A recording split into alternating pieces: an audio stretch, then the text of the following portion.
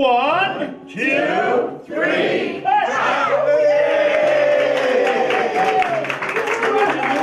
Here at Living Well Dental Group, we, uh, we like to make you feel like you found your dental home. So in doing so, we like to offer everything from your family care, your implant services, all the way to your full mouth reconstructions.